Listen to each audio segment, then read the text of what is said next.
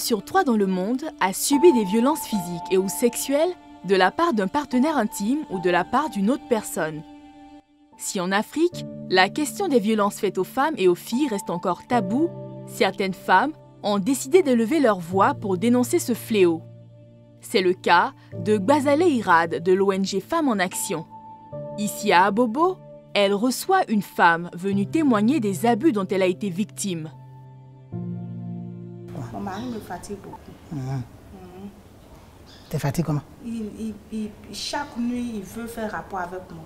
Chaque nuit, il veut faire rapport avec moi. Mhm. Pourtant, vous-même, vous savez, les femmes, il fait jour, tu vas faire le nettoyage, le ménage, tu te sens fatigué. Mhm. Mais chaque jour, il veut faire rapport avec moi. Quand je n'accepte pas, il, il- il met sa colère, on se bat, on est dans la maison. Pourtant, nous sommes dans une chambre, nous sommes dans une maison entre couchés. Mhm. Il y a un rideau, les enfants sont couchés là-bas, nous aussi, nous sommes couchés ici.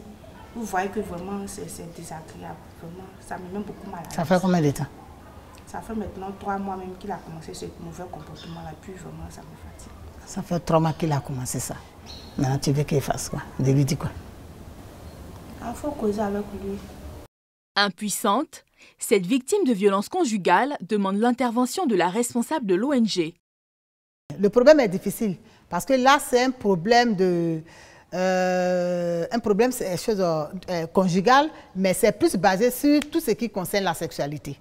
Voilà, sur la sexualité. Donc, euh, quand elle, elle fait ses travaux et que monsieur vient euh, chose, euh, le soir, euh, que trois fois dans la semaine, ils arrivent à coucher ensemble et que maintenant lui veut coucher tout le temps euh, avec sa femme, bon, c'est- son droit aussi.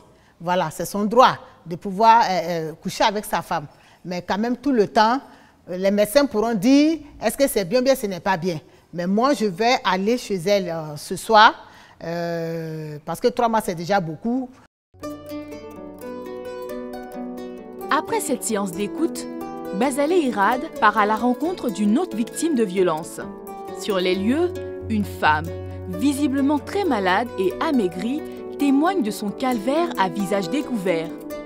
Les gens ne peuvent pas s'imaginer que rester dans un foyer, être battu pendant des années avec son mari, peut causer vraiment assez de dégâts. Quand j'ai connu mon mari, j'étais beaucoup, jeune. Au début, les parents ne voulaient pas. Ne voulaient pas, mais bon, on connaît la jeunesse. Quand on nous parle, on n'écoute pas. Et quand j'ai fait mon premier enfant, le deuxième, on a commencé à vivre ensemble. Mais on passait, tout, vous que tout le temps, c'était la bagarre. Tout le temps, c'était les, euh, Que ce soit dans la rue, que ce soit à la maison, on passait tout, le temps à me frapper, à casser mes lunettes. Donc à chaque fois, les gens intervenaient, ses amis, ses, chefs. Bon, enfin, j'ai eu sept enfants avec lui, malheureusement, un qui est décédé. À deux paires de jumeaux. La dernière fois, j'étais au CHU. Il y a une ambulance même qui est venue me chercher, m'a envoyé au CHU. J'ai fait deux semaines. Je suis sortie. Et pendant qu'elle était à me renvoyer mes enfants de l'école. Donc, c'est quand je suis venue hier, quand elle est venue, elle a dit, je suis partie dans les écoles là. Pour leur expliquer, voulait, mon fils, non, lui-même va partir. Non. Il est parti, ils vont voir comment je suis. Quand ils vont me voir, peut-être ils vont avoir pitié. Non, je suis partie, effectivement. Ils ont accepté de prendre les enfants en attendant que je puisse avoir les moyens. Ça fait quatre ans qu'il est décédé et que je n'ai pas de pension. Donc, je vis de dons. Normalement, je ne devais pas être à ce stade-là. Pas être à, ce stade-là, mais ça m'a ralenti. Ça m'a mis beaucoup, beaucoup en retard. Franchement, voilà. Donc, je n'aimerais pas que je vais parler pour que les hommes puissent prendre conscience que on le fait. Même si après tu viens demander pardon, tu essaies de te rattraper, tu ne peux jamais rattraper le mal qui a été fait. Dans un autre quartier de cette commune populaire, nous retrouvons un peu plus tard Bazale Irad avec un autre cas de violence. Il s'agit d'une fillette de 10 ans violée sur le chemin de l'école. C'était ta première fois de voir le tonton là? Oui. Ah, D'accord. Et comment ça s'est passé? Mon collant qu'il avait posé là, Mhm. il a levé. Il a fait. Il a fait quoi? Il a violé. Il t'a violé. Quand votre fille est venue vous voir, qu'est-ce que vous avez fait? Bon, elle, elle a eu peur de me dire. C'est moi j'ai constaté parce que sa démarche a changé. Mhm. Donc je lui ai demandé, mais tu as quoi? Elle me dit rien. Tu as quoi? Elle me dit rien. Non, il y a ma voisine. C'est ma voisine, on a essayé de l'effrayer un peu. On a acheté piment. On dit, si tu dis pas la vérité là, Uh-huh. on va te pimenter. Et c'est dans ça, quand on lui a dit, enlève ton caleçon, on a vu le sang. Eh, Madame, vraiment beaucoup de, beaucoup de courage. C'est ce qu'on c'est ce qu'on demande. L'objectif, c'est de dénoncer. L'objectif, c'est de, de parler. J'étais sûre que si euh, cette personne était vue, je crois qu'on allait vraiment euh, euh, aller devant la justice. Mais c'est vrai qu'on n'a pas pu connaître cette personne-là. Mais je loue votre courage. Et c'est ce genre de femme-là aussi qu'on a besoin, qui dénonce, qui parle, et voilà, pour pouvoir sauver une vie. Centre social d'Abobo, Bazalé Irad rencontre le directeur pour l'informer de ce cas de viol sur mineur. Je suis allée voir une victime, voilà, où il y a eu un cas de viol d'une fille de 8 ans. Voilà, 8 ans, elle est en classe de CE2. Comme euh, pour les cas de DBG, de violence, d'harcèlement, les trucs, voilà, c'est au centre social qu'on se dirige. Donc je, vous viens, je viens vous soumettre voilà, la, la situation. La pire forme de violence basée sur le genre, c'est le viol. C'est un crime. Et malheureusement, ce qui se développe de plus en plus, c'est le viol des enfants. C'est dommage.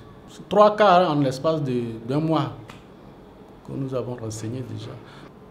Pour atteindre l'objectif zéro tolérance, il faut dénoncer, il faut signaler, renoncer au règlement à l'amiable, et puis trois, il faut porter plainte. Sylvia Apata, elle aussi, milite pour le respect des droits des femmes en Côte d'Ivoire. À travers son ONG, elle a mené une récente étude sur les violences faites aux femmes dans les grandes communes d'Abidjan. Les chiffres sont alarmants. De cette étude, on a pu relever que 41% des femmes perçoivent, estiment que recevoir une gifle de son partenaire n'est pas une violence conjugale. Et 39% de- de- d'hommes qui pensent ça. L'étude que, nous avons menée à Cocody à Yopougon, nous avons interrogé 100 personnes. On a au total interrogé 250 personnes, mais concernant les cas de féminicide, on a interrogé que 100 personnes. Et 100 personnes nous ont révélé 26 cas de féminicide qui se sont déroulés dans ces deux communes-là pendant l'année 2019. Le féminicide, c'est le fait que des femmes soient tuées parce qu'elles sont, elles sont femmes. Et du fait qu'elles sont femmes, elles reçoivent des violences qui leur sont spécifiques, qui sont spécifiques à leur, à leur sexe, comme les violences physiques, les violences psychologiques, les violences morales, les violences matérielles, enfin, toutes les violences qui, qui sont spécifiques à la femme. À travers la CPDEFM, les citoyennes pour la promotion et la défense des droits des enfants, femmes et minorités, Sylvia Apata anime des séminaires et des conférences pour informer et sensibiliser sur les violences faites aux femmes. Ce matin, elle s'entretient avec des étudiants dans une école à Abidjan. Ça commence d'a- d'abord depuis le primaire, où on fait des élections de chef de classe. Il n'y a pas de femme parce que non seulement tu vas le mettre en face, quand c'est la, fille, la petite fille est première, il vous dit, vous les garçons là, une femme ne peut pas être première devant vous. Vous voyez, voilà des choses qu'on dit et ça fait que psychologiquement, la petite elle grandit avec ça, elle se dit que sa place, elle ne doit pas trop dépasser les hommes. Elle se dit ça dans sa tête. Alors que c'est deux choses qui sont très différentes. Et donc, ce leadership-là, il commence à s'inculquer. Déjà, vous êtes sur les bancs, encore que vous êtes des étudiantes. Quand il y a des responsabilités à prendre, n'ayez pas peur de prendre les responsabilités. Prenez les responsabilités. Inspirée par l'une des premières militantes des droits de la femme en Côte d'Ivoire, elle n'hésite pas à promouvoir pendant ses rencontres le livre de l'ex-ministre de la Solidarité et de la Promotion de la Femme, Constance Yahi. Il y a une grande dame qui s'appelle Constance Yahi, qui a été ministre. Elle est aujourd'hui consultante internationale. Elle a écrit Les traditions prétestent le statut de la femme à l'épreuve du culturel. Ça ne coûte que 3 000 francs. Et je vous exhorte, surtout les hommes, surtout les hommes, à pouvoir acheter ce, ce bouquin-là, à lire. Vous allez comprendre comment, peut-être que inconsciemment, vous aussi, parce que c'est ça, si on nous a servi quelque chose, inconsciemment, on rentre dedans et on ne comprend pas vraiment le fond, vous allez comprendre comment est-ce qu'il y a des pratiques qui sont vraiment toxiques et que nous gagnerons justement pour que la- l'Afrique puisse sortir de son sous-développement. L'Afrique ne sortira jamais de son sous-développement sans la femme. C'est ce que vous devez comprendre. Donc, si on veut lutter contre la pauvreté en Afrique, on doit unir nos efforts et, et éradiquer ces coutumes malsaines. Pour cette féministe engagée, la lutte pour le respect des droits de la femme passe nécessairement par l'éducation et la formation. Ce qui va changer la situation de la jeune fille, c'est la prise de conscience de ce qu'elle est véritablement, qu'elle est un être humain qui ne vit pas que pour, mais qui vit d'abord et avant tout pour elle. Et quand elle a compris ça, justement, si, demain cette jeune fille-là se retrouve dans des situations de violence, elle sait réagir, elle sait reprendre sa vie en main. Donc l'idée, c'est justement de pouvoir, avec les jeunes filles, avec la jeune génération, renforcer les capacités, donner toutes les armes qu'il faut pour qu'une personne soit équilibrée, pour qu'une personne puisse jouir pleinement de ses droits, de ses droits en tant que femme, en tant qu'être humain. Et pour dénoncer ces violences, les femmes se sont mobilisées ce 7 mars en prélude à la Journée internationale des droits des femmes, à l'appel de Gaël Zousco, responsable de l'ONG Les Indés. Aujourd'hui, on est dans la réflexion. On a travaillé sur l'état des lieux des droits des femmes et un plan d'action pour euh, l'année qui arrive. Jusqu'au 8 mars 2021, on se voit, on se dit ce, qu'on a mis en place, ce qui n'a pas marché, comment ça a marché. Ça, j'y tiens. Je ne suis pas, je suis pas déplacée pour venir faire juste du bruit et repartir. C'est vraiment des actions qu'on va suivre. Moi, j'ai été victime il y a 17 ans. J'ai vécu 4 ans dans les violences conjugales. Et euh, il y a des femmes aussi qui me confient, il faut délier la parole, c'est le premier pas vers euh, se libérer de tout ça. La honte doit changer de camp. C'est ce qu'on n'arrête pas de dire cette année, la honte doit changer. On ne doit pas avoir honte parce que, parce que notre mari, quand on rentre, il nous tabasse, c'est lui qui doit avoir honte. Avec le poids qu'on aura en tant que société civile, en tant qu'organisation de la société civile bien organisée et qui avance de manière euh, homogène, ça pourrait faire un levier sur euh, le coût des certificats médicaux, par exemple, on pourrait aussi proposer à l'État, au gouvernement, de créer au sein des CHU des unités médico-judiciaires dans lesquelles on n'aurait pas à payer. Quand j'ai été violée ou une, personne qui a été violée, on l'accompagne tout de suite à l'UCMJ, enfin l'unité euh, médico-judiciaire, pour qu'elle se fasse sculpter selon tout ce qu'on attend dans une procédure et qu'on ait, pas, ait à payer une somme modique, une somme symbolique plutôt que les 50 000 francs prohibitifs. Nous retrouvons Constance Yahi, invité spécial du jour. L'ex-ministre partage sa vision de la lutte contre les violences faites aux femmes. Pour elle, des difficultés subsistent encore. Les violences conjugales se déroulent dans un espace intime et privé, si bien qu'il est extrêmement difficile pour une femme victime de violences conjugales de poursuivre quelqu'un qui lui est très proche. Et c'est pour ça la première difficulté. La seconde est celle de convaincre les gens le regard de la société, le quand dira-t-on? Et on en arrive en fait à ce dont je parle dans mon livre, les traditions prétextes. Tout est prétexte afin de, de, soumettre la femme et de l'obliger à, accepter en fait les souffrances qui sont les siennes dans son foyer, dans sa famille. Ces difficultés commencent au niveau même de la police. Donc quel accueil leur est réservé? Est-ce que les, les services de police sont assez formés pouvoir recueillir leurs plaintes?